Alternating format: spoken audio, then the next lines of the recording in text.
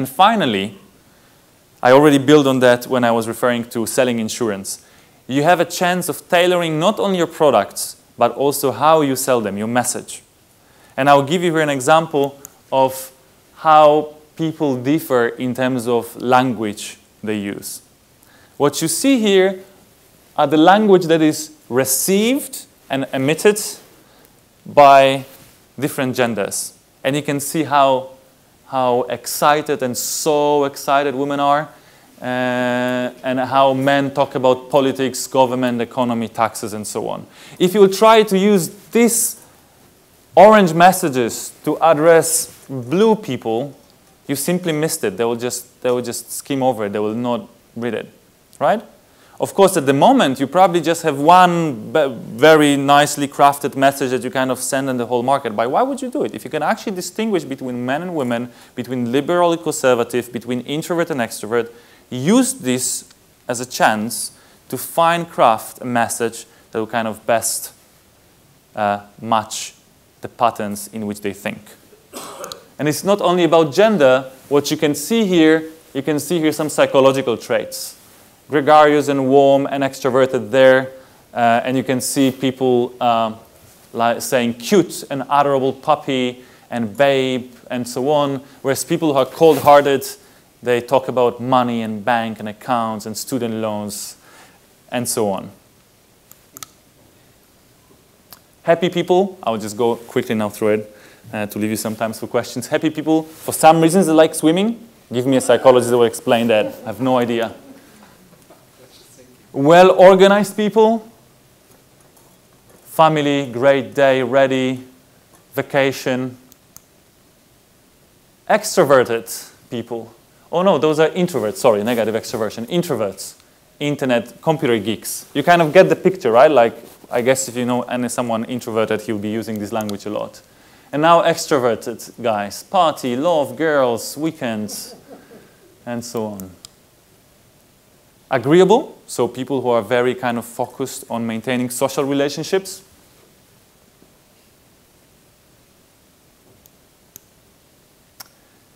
So, but of course, there are also risks involved in targeting on individual level. And there are a few areas here. Uh, so first of all, you can actually find people, and increasingly people with, will withdraw from digital environment. We say, okay, Facebook is creepy, Google is creepy, they kind of want to learn too much about me, so maybe I should kind of stop using this, those technologies. And guys, the responsibility for bringing those guys back and making sure that they actually start trusting digital technology again is in your hands.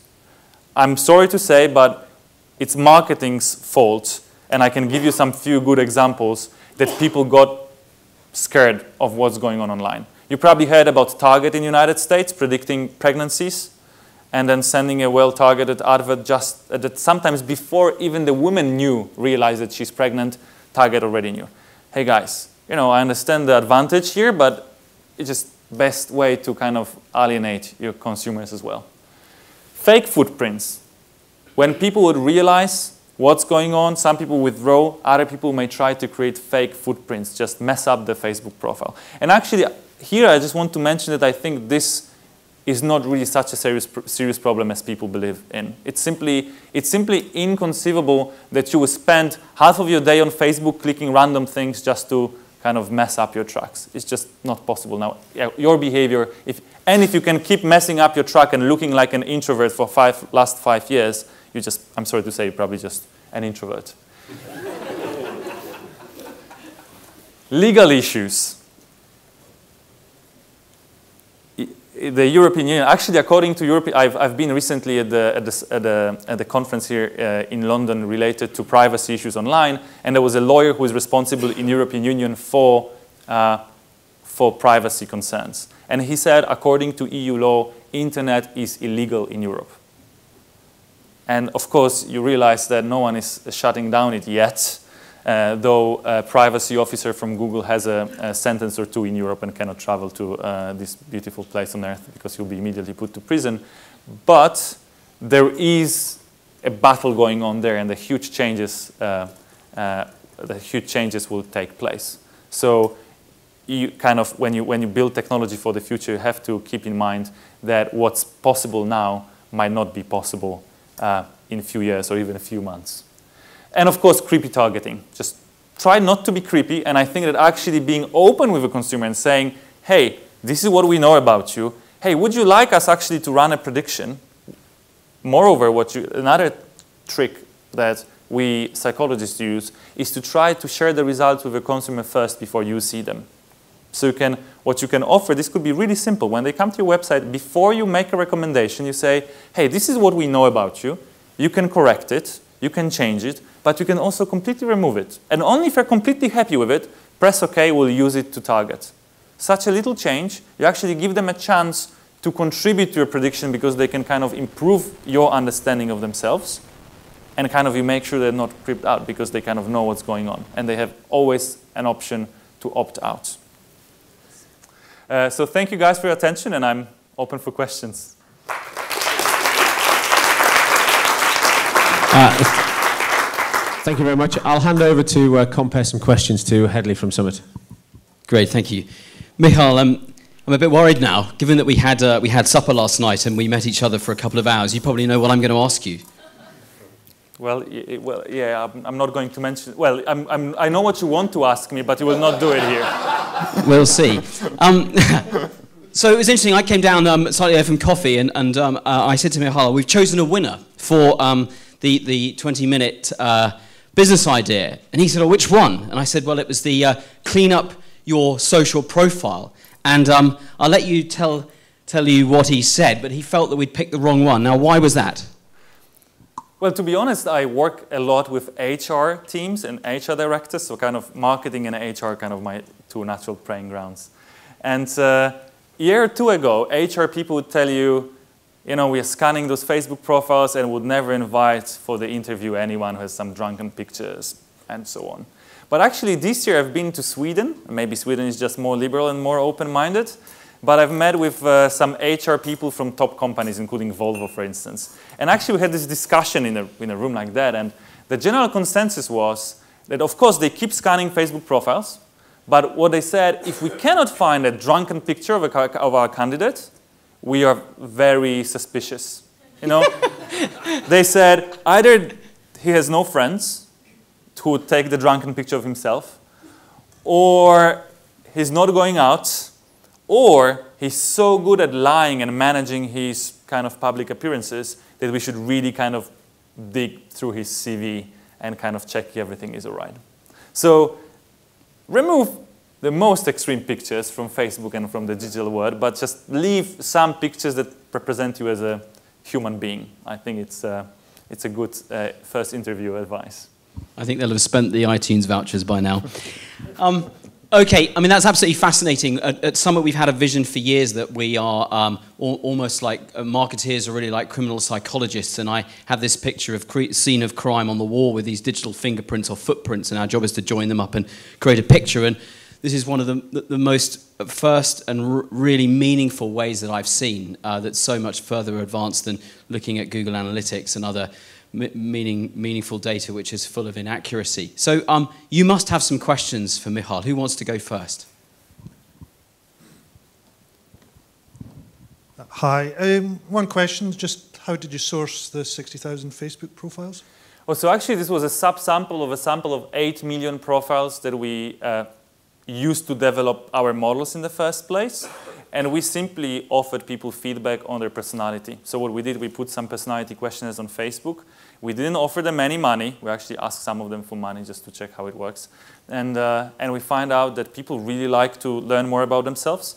And we also never forced them to give us any data, but we said, hey, if you like the, if you like the research, if you like the, the, the feedback that we gave you, could you please press here to kind of share your Facebook uh, data with us? And more than 8 million people actually decided to give us full access to the Facebook accounts, which we later used to uh, develop this tool and other tools as well that I was presenting here today. Great, thank you. Who else has a question?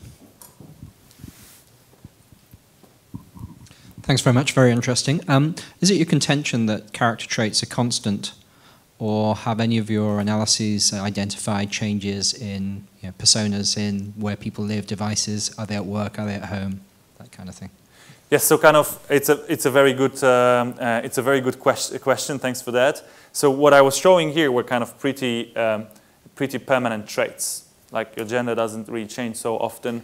Uh, though there was a study actually in the department next to ours, and they had to cancel the study because 7% of participants changed the gender in the meantime, and it just didn't work anymore. But this was a very specific population. That's probably not a typical Argos customer. Uh, so when you look at Facebook likes or websites visited, and you look at the long history, then of course it helps you to uh, kind of build a profile of permanent traits, like personality, which is permanent, happiness, which actually is also quite permanent. You have some spikes here in their mood, but uh, the level, uh, the kind of average level is pretty stable.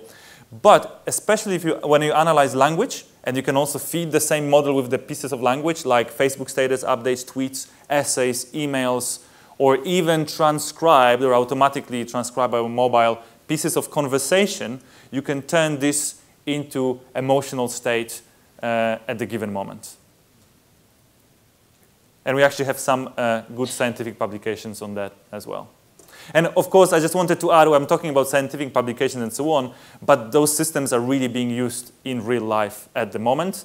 Uh, we, uh, we have up to 1 million calls to Personality API a week, uh, which means that up to 1 million people are being profiled a week. Some of it we do ourselves, some of it is done by other companies. It's an open, free system. Anyone can use it without really any registration. Uh, well, there's a registration, but you don't really have to give us your name and so on. Uh, so we don't really know even who is using it. We know that Facebook is using it uh, to some extent. I'm not sure if in any products, but they're definitely testing it. I know that some big dating websites are using it to uh, match people using the personality profile. So there's already kind of a lot going on uh, in the real world. So just to be clear, um, anybody can upload some data about their, their customers to you. You will then profile them and send back a almost a psychometric profile of each customer based on your model. Yeah, in a fraction of the second. In a fraction of a second. And then it's up to the company to, to decide what to do with that profile and how to use it in their marketing or whatever they present to that customer. Yes. Okay. It's, to be honest, to be honest, I see because, of course, as an as a university person, I see a bit of an ethical issue here. But because this technology is available and uh, it wouldn't take much for a big company to develop the exactly same system. I think that the pressure should be put on getting a consent from the user. And actually we're in touch with, let's say, European Commission and we say, look, this technology is available. We just made it open. Anyone can use it. Make sure that policies are shaped in such a way that companies will use this technology in an ethical way. Because us shutting this down or not would not change the fact that these days, forget about personality. These days you can actually figure out what's your religion or what is your sexual orientation simply based on your Spotify uh, uh, listen to list. Very accurately, actually. um, does anybody have any more questions for Michael? So, based on, I've got a question for you. Based on what you've seen as retailers in the room, um, is this uh, something that you feel you would use? Kind of a show of hands, bit of a straw poll. Okay, great. So you'll be uh, logging into the API this afternoon. Great. Thank you very much. And thank you, Michal.